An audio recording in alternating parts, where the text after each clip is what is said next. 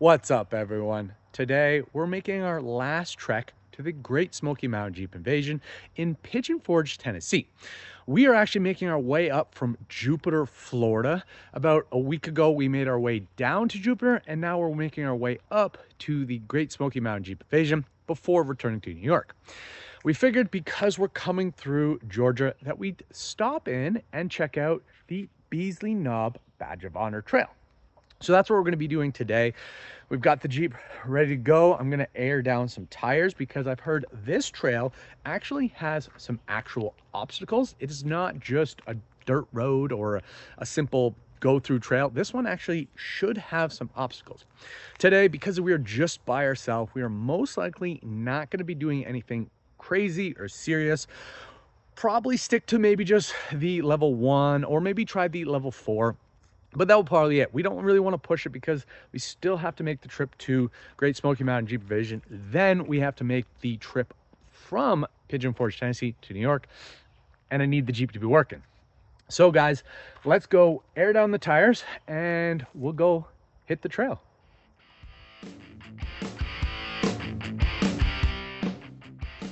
So guys, the first section of this trail was actually an access road that gets you from the Beasley Knob sign to the main parking area. The main parking area is definitely big enough for anybody who wants to trailer the rig to the trail.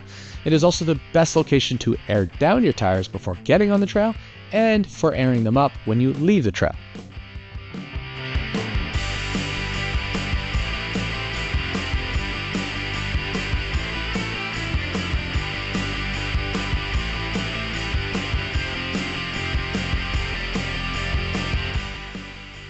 After we pass through the main parking area, we get onto the Green Trail, which is also rated as a level 1 trail based on the Badge of Honor trail.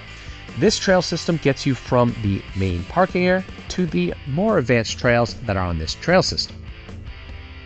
This trail is the perfect trail for any beginners who are looking to experience off-roading but are not ready to do anything extreme. This trail consists of mainly a dirt road with a few minor dips and grooves here and there that give you the true off roading experience for anybody who's looking to learn and gain some confidence.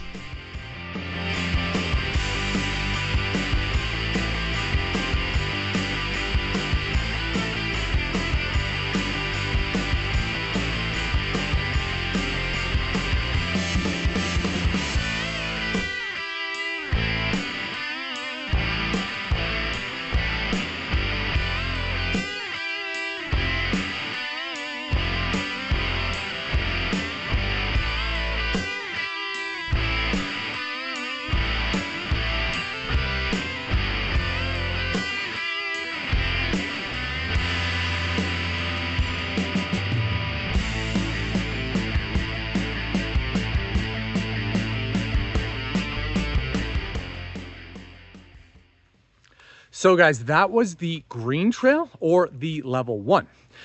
Overall, that was very straightforward. Anybody could really do that. You don't need four-wheel drive for that trail. It was just a simple kind of dirt gravel road that goes around some nice bends, some really cool things to look at during that drive, but nothing really challenging. Now what we're gonna do is try out some blue trails or they're rated level fours and we're gonna see how they go. The first thing we have to do is this hill combination right here and then we'll move on to see what else this trail has to offer.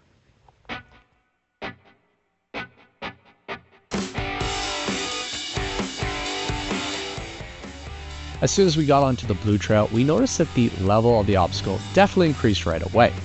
This trail consisted of a bunch of hill climbs, a few areas where you can flex in and out, and a lot of camber areas. You had to go through the trees. You had to drive through long sections of really nice scenery. It was a really fun trail. The hardest section of this trail, or the hardest obstacle that this trail mentions, is a rock climb. And I will show you guys that when we get to it. But overall, this trail was not that difficult and definitely a trail that you could do by yourself. Though I don't recommend that you do the trail by yourself, it's always recommended that you do bring someone along with you because in the event that something happens, at least you'll have someone to help you get out of your sticky situation.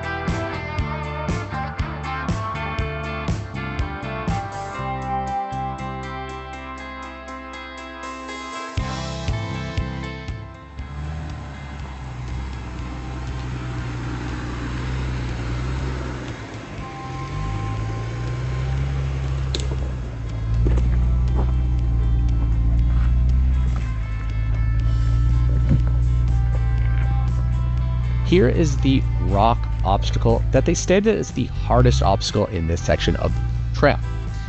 But overall, guys, it wasn't that bad.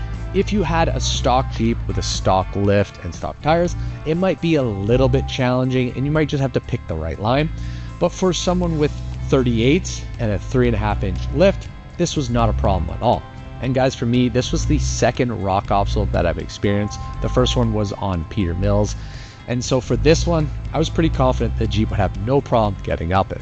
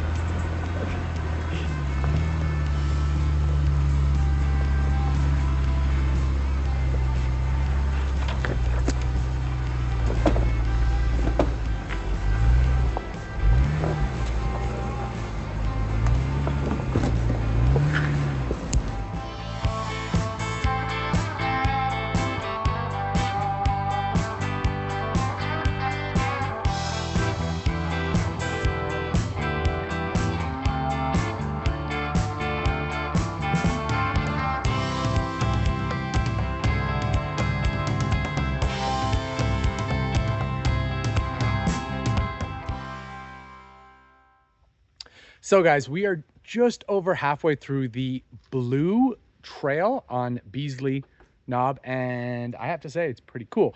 Lisa, where are we at right now? We're, we're at a Blue Rock Overlook on top of Rattlesnake Hill. Okay, this is pretty cool. The views are really, really nice. Right now, we're stopping to give Wrangler some water, let him pee, let him do his stuff, and enjoying the view. It is amazing. It's kind of hard to see from here, but you can see it through the trees.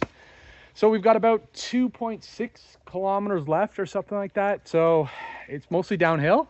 There's been a few challenging parts or not challenging, but new to me. You know, I'm not used to rocks. So going over a few of the rocks has been a lot of fun. Um, and I look forward to seeing what's on the end on the way down. I'm not sure if it's going to be harder or easier, but so far this has been a lot of fun. This is the perfect level. Greens have been a little boring. All the other trails, Peter Mills, um, tread lightly. Those were just very, very simple trails. This one has been a lot of fun. A lot of inclines, dips, off cambers or cambers, like lots of things going on. So let's go hit the remaining of the trail and then we'll wrap this video up.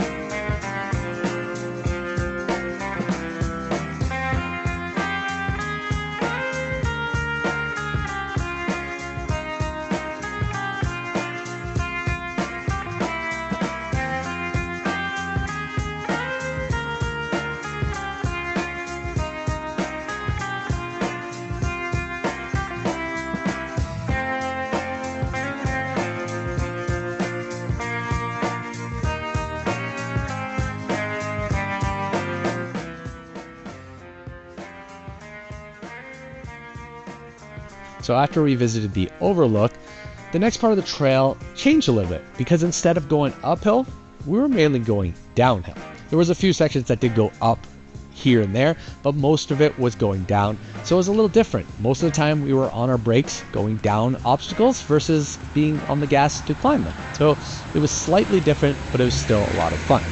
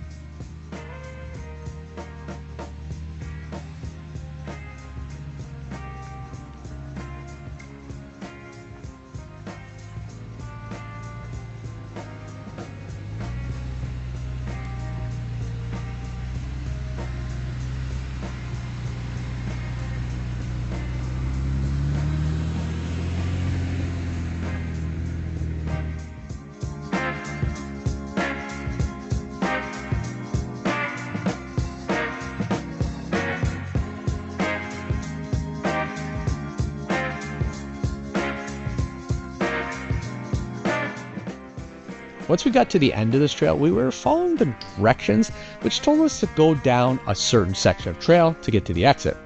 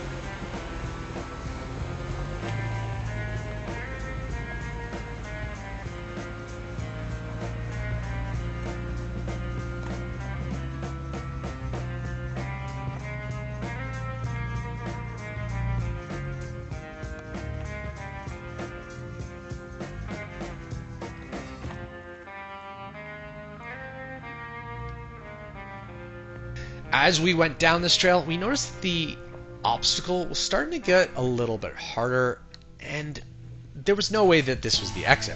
So I went ahead and checked out what was coming, and what I noticed was the trail was definitely starting to get a lot harder.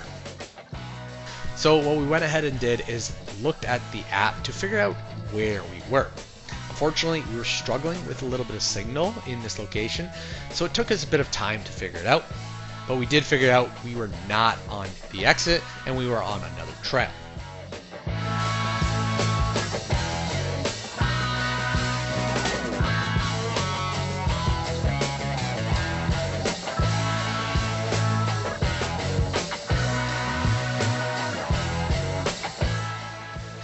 And because this trail was super tight, what we decided to try and do was reverse up the way we came down. But as we did this, we learned this was actually really challenging to do. It is a challenge for the Jeep to push its weight up in reverse, and it is also a challenge to kind of steer the Jeep around some of the bends.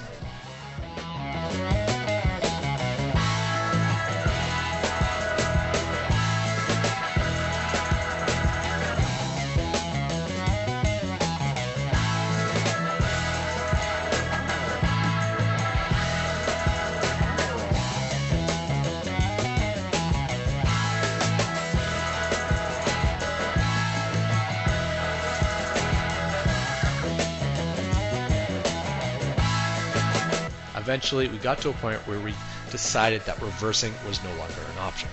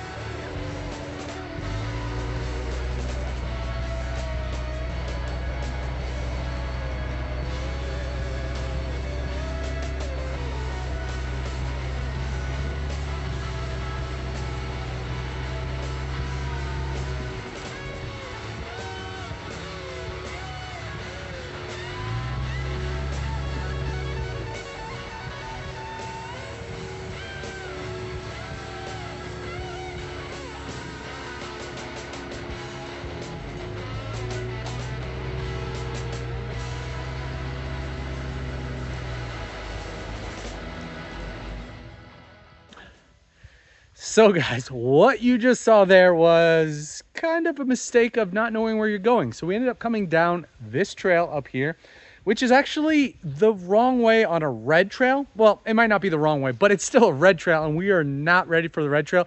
It gets a lot harder down there. So we decided to make a very tricky turnaround. Uh, that was pushing both of our nerves. I think she was stressing out on that one. So we are both stressing out on that. And but able to do it pretty well. One thing that was pretty fun about that is once I started to lean in weird ways, I actually was able to adjust the AccuAir to prevent the lean a little bit more. So I don't know how much that actually helped, but it definitely made me a little more comfortable. One thing to note that is interesting right now, if you look at the way it's sitting, I actually had to turn it off because when it was flexing that much out, the system kind of goes into a lockout system where it actually won't pump air into the certain cylinders anymore because there's a little bit of an obstruction or limitation with the sensor. So what I have to do is reset it and then hope we turn it back on and we're good to go. So guys, now what we're gonna do is go up the red trail that we did and we're gonna go back down the blue trail. So let's get going because I know someone's definitely had enough of trails yeah, for the day. Done. So uh, time to move on and well, yeah, let's let's do this and then we'll trail our way out. So see you guys at the end of this.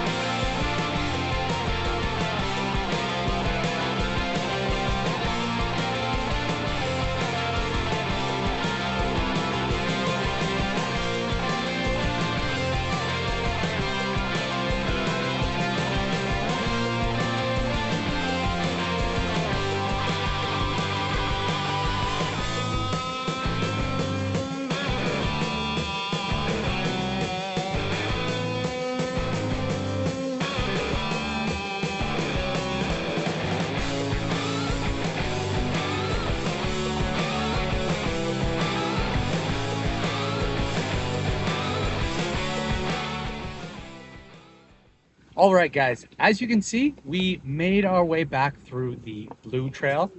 Unfortunately, this meant with the way this trail is designed, if you go a certain way on the trail, there's no exit. The only exit would be the red trail. So you actually have to come back along the blue trail, which isn't that bad, but it, it just was unexpected to us. We actually figured for some reason when the red and the blue came together, that that would have been the end, but it was not. So it meant we had to scoot back through and get on the road because we do have to get to Pigeon Forge today. So we are trying to get our way out.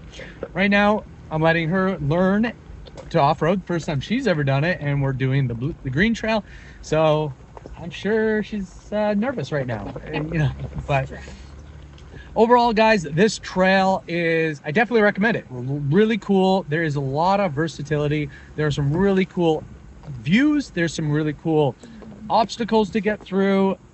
You know if you had the whole day to hang out and enjoy it definitely worth it. If you had a bunch of friends with you and you were all capable to do the red trail i think it would be really cool. Because even the part that we did by accident going down was actually really cool and it was going to get a little harder. So that's why we turned around. Um yeah guys at this point i recommend that you guys come and check out this trail. It's really worth it uh, if you have any questions or comments about anything i've shown in this video feel free to post them below. As usual guys please make sure to like subscribe and share. Keep evolving and we'll see you guys on the next video